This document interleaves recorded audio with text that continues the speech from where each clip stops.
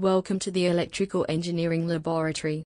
We created a multimedia e learning system for your learning enjoyment, and hopefully, to teach you safe practices in and around electrical laboratories.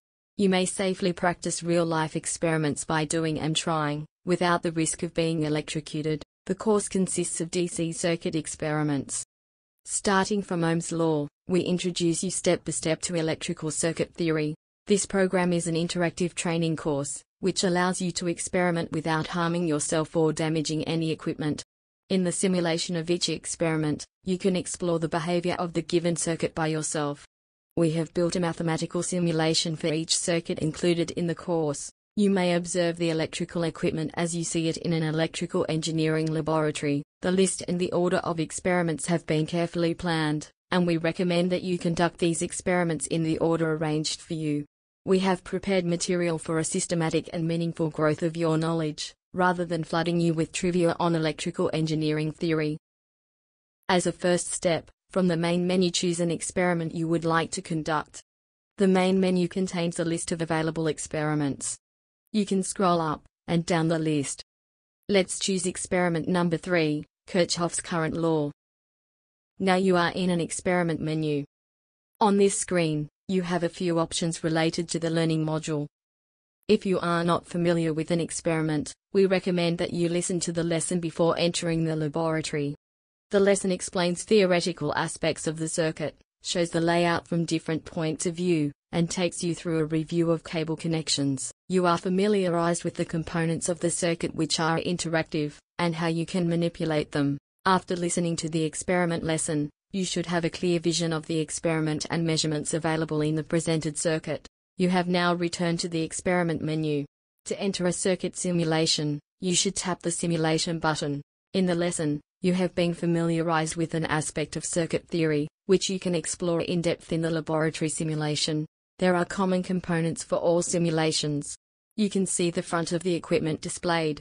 You can manipulate each component of the circuit by tapping on it or dragging its adjustment sliders. For example by tapping on a multimeter, you activate a pop-up window displaying the additional functionality of that multimeter. If the window obstructs part of the view, you can drag it to a different location. Just tap and drag the window title bar. Although each element of the circuit has a different functionality and appearance, icons associated with their dialog windows have the same meaning.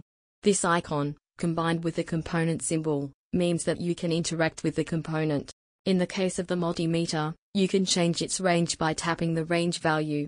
This icon, combined with the component symbol, means that you can replace a component with an alternative component of the same type. In the case of the multimeter, you can replace it with another multimeter built for a different range of measurements. You may browse through available equipment by tapping the browse icons. To select a new multimeter tap the checkbox. If you tap this icon, you can see the circuit diagram and location of related circuit components on the main screen. Tapping on this icon lets you obtain information about the currently selected circuit component. Some circuit components such as the voltage supply or the variable resistor have a slider that allows you to adjust its value. You can tap and drag the slider in the main window, or in the pop-up window. The pop-up window dragging and tapping functions may become very convenient, if you have a problem selecting the slider in the main area.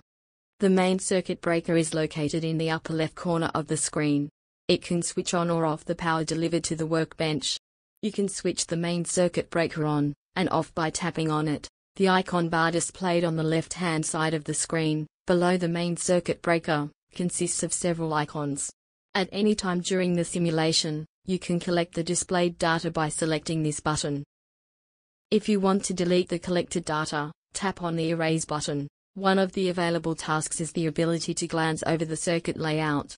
Tapping the button with the circuit diagram icon reveals a pop-up window with the circuit diagram of the current simulation and the location of equipment in the main screen area. During the simulation, you can modify each component of the circuit by changing its settings or replacing it with a component of different characteristics. However, if you decide to reset the simulation to its initial conditions, select this button. Tapping this icon gives you quick access to the introduction of the current experiment. If you collected some data during an experiment simulation, you could view it by selecting this icon located in the simulation toolbar. In the following results screen you will find a table holding numerical values of the collected data. You will be able to build graphs displaying this data. Tap this button if you want to build a graph that represents relationship between any data collected. Initially an empty graph appears. Tap on the Edit Graph icon to enter the graph editing mode. By dragging and dropping headers of the result table you design a graph. Type in the graph title in the area provided.